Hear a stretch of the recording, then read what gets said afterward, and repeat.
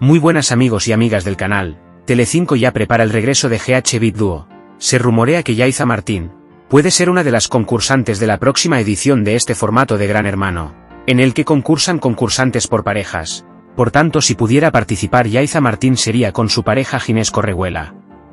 Telecinco trabaja ya en el sucesor de la octava edición de GH Beat.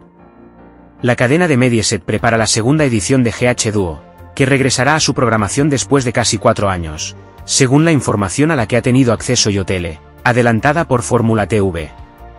La intención del grupo audiovisual y de Zeppelin, productora de GH Duo, es estrenar la segunda edición del formato de telerrealidad a principios del próximo 2024, lo que amortizaría la actual Casa de Guadalix de la Sierra. Tanto Telecinco como la productora de Banijay Iberia ya estaría preparando el casting de parejas celebrities, sentimentales, familiares o unidas por amistad, que concursarán en esta nueva temporada de esta franquicia de Gran Hermano.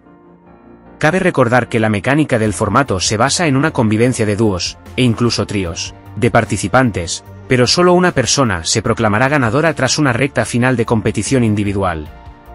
Cabe recordar que la primera edición de GH Dúo se emitió a lo largo de los primeros meses del año 2019, proclamando como ganadora a María Jesús Ruiz. La ex Miss España se alzó con la victoria después de imponerse a Kiko Rivera por un 52% de los votos en el transcurso de la gran final del programa. La primera edición de GH Duo promedió para Telecinco un 26,4% de cuota de pantalla, a lo largo de sus 16 galas semanales. El reality presentado por Jorge Javier Vázquez alcanzó su máximo en su gran final, que obtuvo un 33,9% de Sare.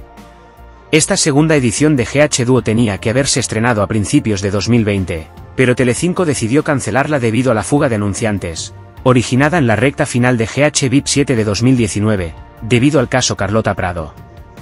Aunque en un primer momento se barajó la puesta en marcha de GH Duo, con otra denominación en la que no se incluyera la marca de Gran Hermano, la cadena optó por paralizar su producción, optando por el estreno de La Isla de las Tentaciones en nuestro país con Mónica Naranjo. Como siempre te invito a que comentes esta noticia, pero antes recuerda suscribirte, para no perderte más vídeos como este, nos vemos en el próximo vídeo y muchas gracias por estar ahí.